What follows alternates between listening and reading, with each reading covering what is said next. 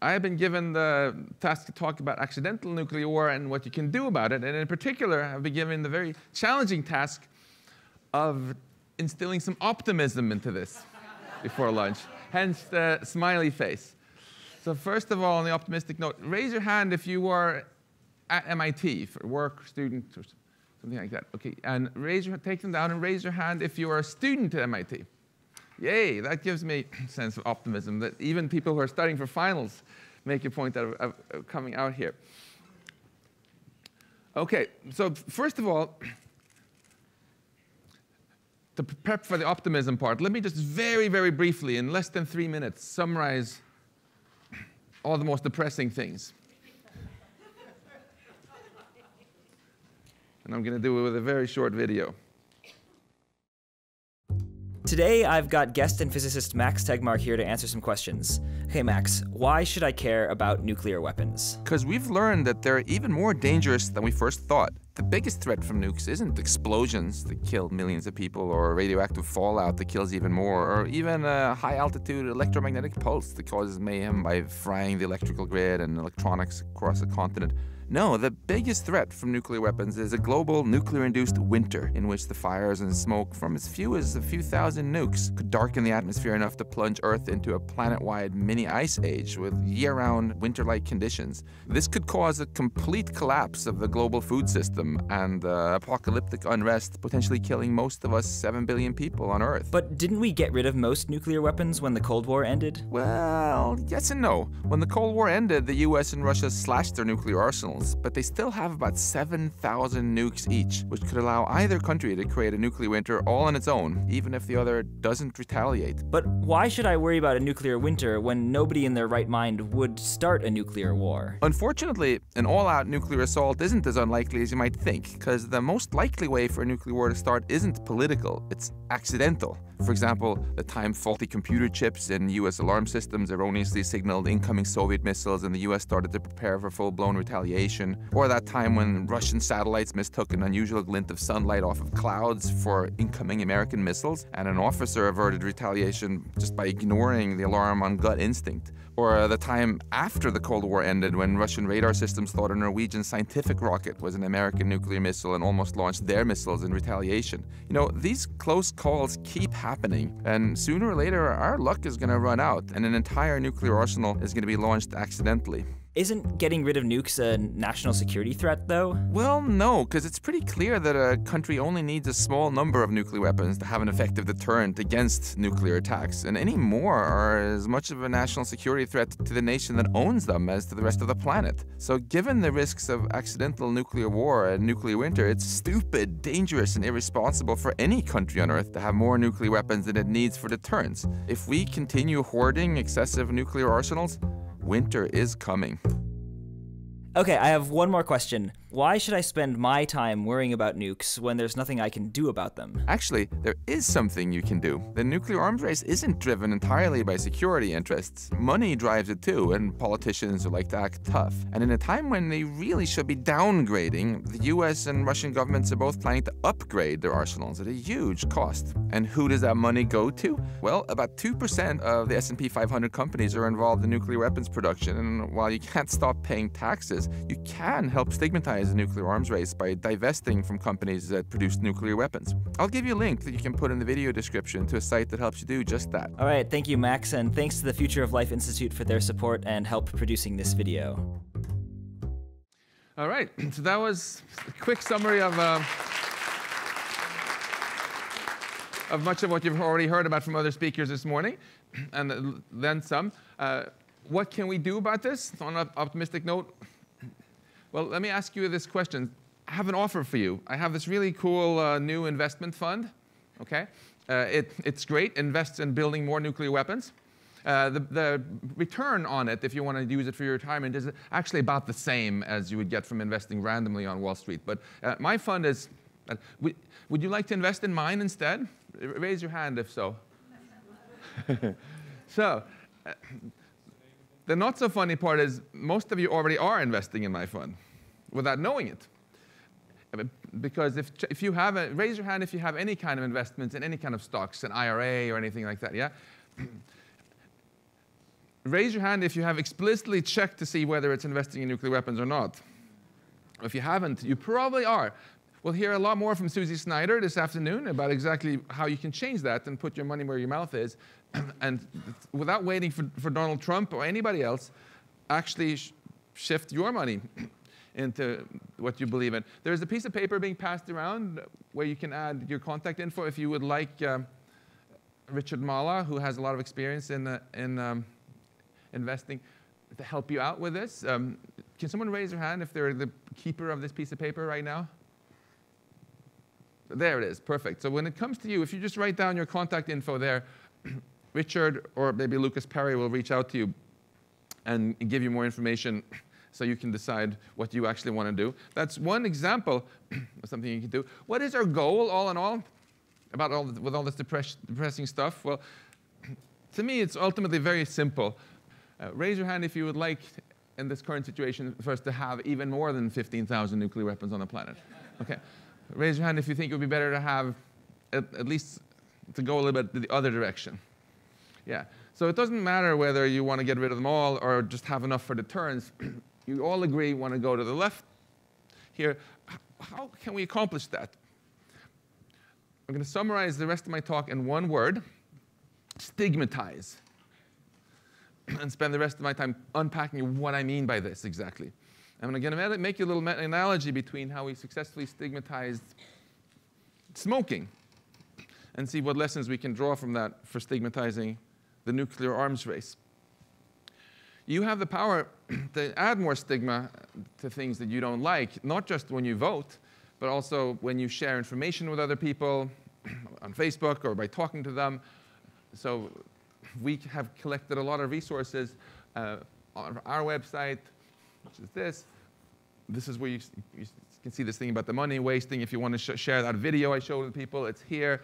Um, we have a lot of other things there. Union of Concerned Scientists, many others have a lot of wonderful material. Please share that, and you help, help stigmatize. Uh, you can also think when you invest, when you shop, and Susie Snyder will talk more about how you can, you can stigmatize. Now, smoking. Why did smoking lack stigma when my dad was a kid? Why? Well, smoking made people think you were cool because that's what all the cool news anchors were doing and the cool actors and so on, right? No, it wasn't addictive, at least not according to the leading newspapers and, law, and legal judgment. No, it didn't cause cancer, and it was even viewed as a symbol of female empowerment, right? How did the stigma gradually get added to smoking? To the point that smoking has dropped over by a, by a, factor of two in the United States, and to the point that when I see someone smoking now at MIT, I just subconsciously, I feel really guilty about this because it's biased, but I just tacitly assume they're not a student and they don't work here. Uh, and the people I do know, the friends I have who are actually smokers, they are all trying to quit. How did that happen? Well, because gradually these myths got demolished by a lot of people doing all sorts of creative things to get the word out. What can we learn from this? Well, we can look at exactly the same question. Why is there not much stigma about our nuclear policy? Here's my little collection of, of um, my little top seven list. And let's spend a little bit of time just unpacking this one at a time. Well, I know the risk of nuclear war ended with the Cold War we already heard enough about why that's not the case. This is a message that needs to get out more widely. Oh, shrinking our arsenal will just make us less safe. Well, um, I just for fun looked at the list of the uh, top 1,000 cities in the US. So if, if Russia decided it was going to cut back from 7,000 nuclear weapons to only 1,000 hydrogen bombs, would that remove their deterrent power? Would that make us not worried about being attacked by the Russians? Oh, no, because they would still let them nuke New York, Los Angeles, Chicago, all the way down to great metropolis of Greenacres, Florida, Meridian, Mississippi, Puyallup, Washington, which I have managed to find a little photo for you there so you can see how big it is, and even Woburn, Massachusetts. My very close to where I live, with a population of 39,000. So raise your hand if the city that you live in has more than 39,000 people. Okay, that means you will still be deterred, even if Russia gets rid of six sevenths of its hydrogen bombs, right? Um, if you do this in Russia, you get down to even smaller cities. So the, clearly, we don't need 7,000 for nuclear deterrence. The U.S. military has, has come out even with a report saying 300 was sure will be enough. Will this upgrade make us safer? We've heard enough about no way it wouldn't. We have nukes only for deterrence. Clearly, no. There are some other reasons we have them too. Compellence, not deterrence, like trying to compel people to do things by threatening first use and so on. then there's this whole idea that the arms race is mainly driven by national security. That's certainly one driver, but we will hear a lot more from Susie Snyder about how money drives it also. And finally, as we heard very eloquently from Lisbeth Gronlund here, if it starts, it probably will not start very, very deliberately because everybody loses from it. It will probably start by accident. So if we can get this information out, there will be more stigma. Now, I, was, I promised you to insert some optimism into this, okay? To me, the most exciting thing that's happened in years in this area is something which is happening right now.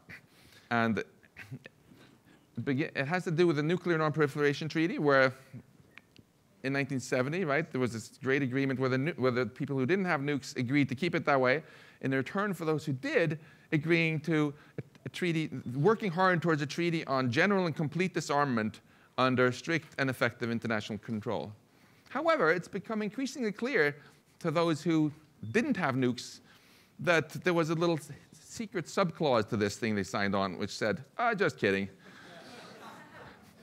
There's obviously no way that the nuclear powers are really going to do this. And this has become so manifestly obvious now that the rest of the world voted late last year to start negotiating in the United Nations to treat nuclear weapons just like bioweapons and chemical weapons, as the weapons of mass destruction that they are, to ban them. Why? To stigmatize. Not because they were naive and thought that the US and Russia and every, North Korea were going to give up their nukes this way, but because this was going to add stigma. Okay? Um, the New York Times chose not to cover this. And then there were negotiations that actually began just last month in the United Nations. It was super exciting to be there with Susie Snyder and so many others who have been driving, driving this.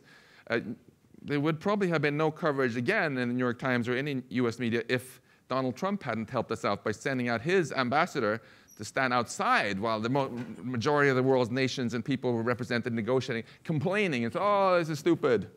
Those people don't understand. And um, because of that, journalists came, and the New York Times actually wrote about how Trump was against this. And they mentioned, oh, by the way, there's some people who are for it. Also, like these 3,000 scientists who've signed this, and a few other folks. Really exciting energy there.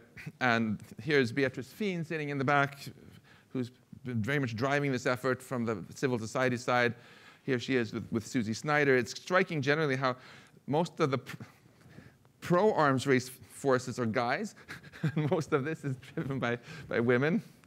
uh, make of that what you wish. Uh, yeah. So this is a super, super exciting initiative. And I want to just uh, take my last minute to uh, reflect on what, where this leaves us. what I think we really should have as a goal is to get enough stigma around the current nuclear policy that whenever there's a conversation in a bar or on the hill or anywhere where someone says one of those seven things, they will follow it up by saying, oh, just kidding. Or at least someone else in the conversation will.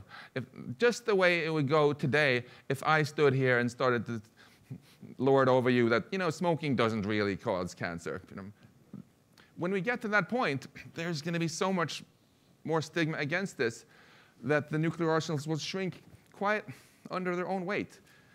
And it doesn't have to be people in this room who push for it. There's plenty of people with a lot of power who want to use all that money for other things, right? So as soon as there's more stigma, it strengthens everybody else, and things start moving in the right direction.